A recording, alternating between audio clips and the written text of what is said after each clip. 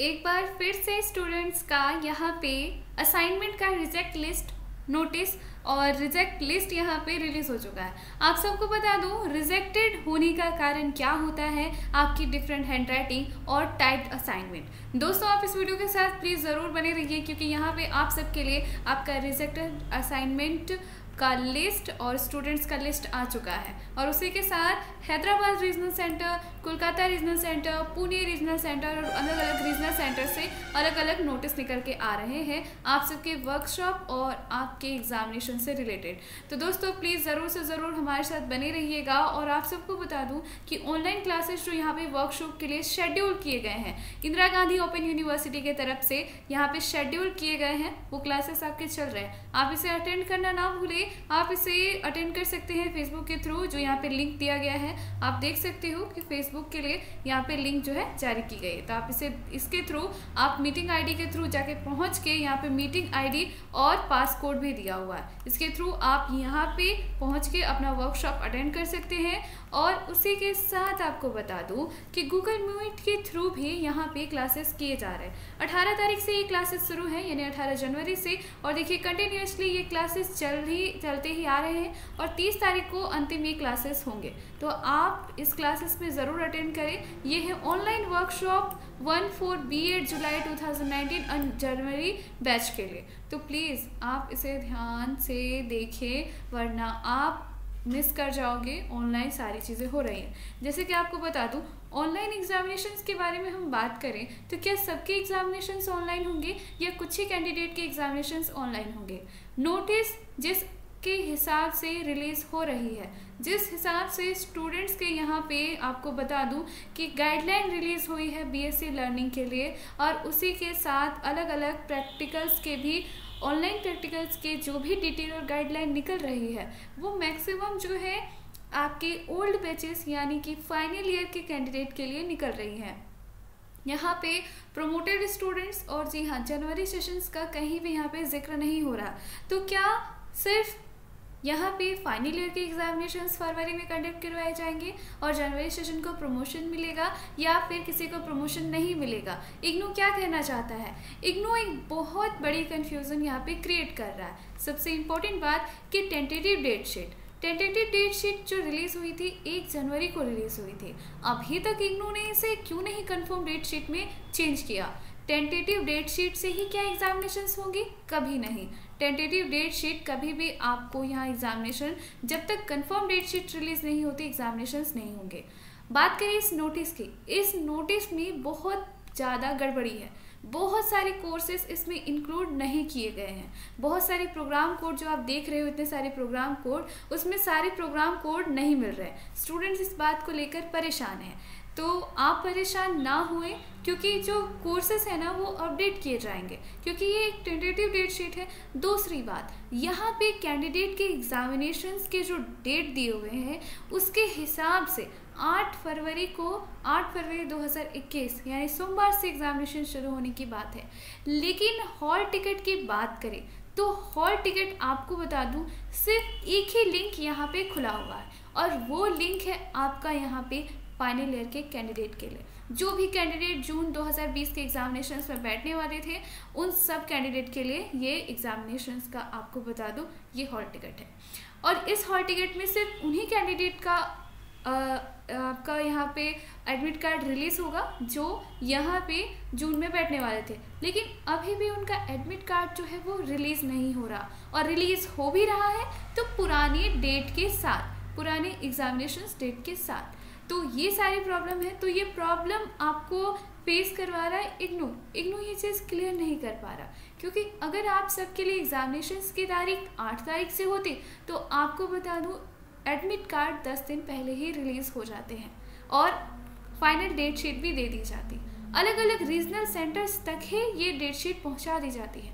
लेकिन आप किसी भी रीजनल सेंटर्स पे जाओ तो आपको कोई भी यहाँ पे आपको डेट शीट जो है नहीं मिलेगी. तो फाइनल डेट शीट रिलीज़ नहीं हुई है। आप इसको लेकर चिंता मत कीजिए। डेट शीट जैसे ही आती है, आपको बताऊँगी। और उसी के साथ जो कैंडिडेट यहाँ पे अपने टर्म एंड एग्जामिनेशन फॉर्म के स्टेटस को नहीं देख रहे हैं और अपनी ग्रेड कार्ड्स वगैरह चेक नहीं कर रहे प्लीज़ जल्दी से चेक कर लीजिए। क्योंकि अगर आप किसी भी सब्जेक्ट में फेल हैं तो आप अभी एग्जामिनेशन फॉर्म सबमिट कर सकते हैं। और उसी के साथ साथ ही बता दूँ, यहाँ पे आप जैसे ही अपने आईडी पे लॉगिन होते हैं, आपको यहाँ असाइनमेंट सबमिशन का स्टेटस मिलता है।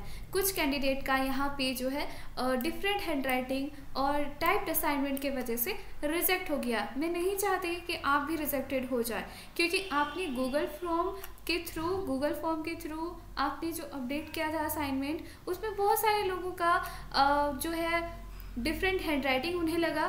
जो यहाँ पे रीज़न जो बताया गया है, क्योंकि मैं नाम नहीं दिखा सकती स्टूडेंट्स का, पर यहाँ पे आप देख सकते हैं, इग्नू का ही ये सारा रोल कोड कोर्स जो है, और यहाँ पे ये बताया गया है रीज़न जो बताया गया है different hand writing different hand writing typed assignment और ये सारी चीज़ें, और file size more than 25 M बहुत सारे लोग जो है ना फ़ाइल साइज़ काफ़ी हैवी बना रहे थे और 25 एम से ज़्यादा के। तो यहाँ पे ये मेंशन किया गया था 25 एम से ज़्यादा के जो है फ़ाइल साइज़ नहीं अपलोड कर सकते। मैक्सिमम लोगों को जो बताया गया है दिक्कत वो है यहाँ पे डिफरेंट हैंड राइटिंग तो आप ये बात ध्यान से सुन लो, आप एक ही राइटिंग पे लिखो, आप अपनी असाइनमेंट खुद से करो।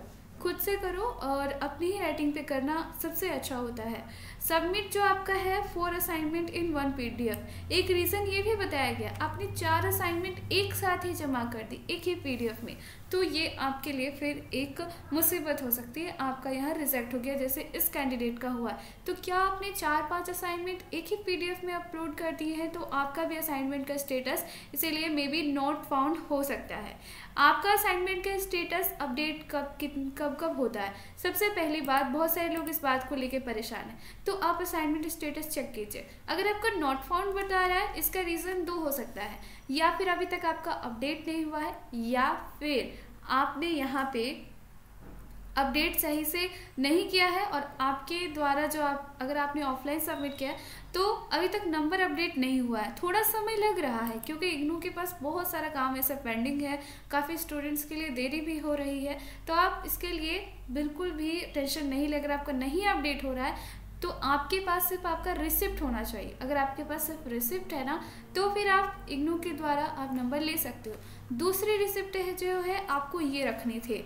आपने जब एग्जामिनेशंस के लिए टर्म एंड एग्जामिनेशंस के लिए फॉर्म फिलअप किया तो क्या आपने ये रिसिप्ट लिया था?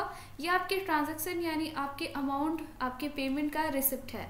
ये चीज़ें आपको यहाँ पे लिख दी गई है। Note down transaction reference number and proceed to payment gateway यहाँ पे आपको बताया गया है कि आपको transaction reference number keep note of the same for future correspondence आपको ये रखनी चाहिए फ्यूचर के लिए। क्योंकि बहुत ऐसा रीज़न हो जाता है ना कि स्टूडेंट नहीं रख पाते और यूनिवर्सिटी फिर आपको कहती है कि आपने असाइनमेंट सबमिट नहीं किया था। बहुत सारे लोगों का टर्म एंड एग्जामिनेशन स्टेटस नहीं शो कर रहा होगा। उसके पीछे रीज़न ये होता है कि कैंडिडेट जब छः महीने बाद अपना स्टेटस चेक करते हैं तो आपको जनरली शो नहीं होगा। एग्जामिनेशन का फॉर्म का स्टेटस कुछ दिनों तक ही शो होता है और कई दफ़ा ऐसा होता है कि ये शो नहीं करता, लेकिन ऐसा नहीं है। अगर आपका एग्जामिनेशन कोड जैसे कि आपको बता दूँ कि अगर आपका प्रोग्राम कोड यहाँ पे शो कर रहा है, जैसे कि यहाँ शो कर रहा है एग्जामिनेशन फॉर्म आपका तो सोचिए कि हाँ आपके एग्जामिनेशन फॉर्म भी सबमिट हो चुके हैं और आपको बहत्तर घंटे के अंदर ही चेक करना होता है। जैसे ही आपने एग्जामिनेशन फॉर्म भरा, आपको सेवेंटी टू आवर्स के अंदर अपने आईडी पे लॉगिन होके आपको चेक करना पड़ता है। ताकि आपका यहाँ पे अपडेट हुआ है या नहीं। ये सारी चीज़ें आप ज़रूर ध्यान में रखिए। एग्जामिनेशंस को लेकर अब हैदराबाद से एक नोटिस आई है, जिसमें बताया गया है ऑनलाइन आपका schedule online induction meeting induction meeting schedule along with the link of July twenty twenty learner जो भी जुलाई 2020 के लर्नर हैं, उनके लिए यहाँ पे बताया गया है गूगल मीट की आईडी दी गई है। ऑनलाइन सारी चीज़ें हो रही है। अब आप देख आगे देखा जाए कि कौन से कैंडिडेट का एग्जामिनेशन होता है, लेकिन जिस अकॉर्डिंग से यहाँ पे आ रहे हैं, यहाँ पे जनवरी सेशन की बात तो बिल्कुल भी नहीं की जा रही एग्जामिनेशन के लिए नोटिस में। आगे जैसे ही कोई अपडेट आती है, हम आपको ज़रूर बताएँगे। प्लीज़ हमेशा कंटिन्यू चैनल के साथ बने रहिए बेल आइकन दबाना ना भूलें। Thank you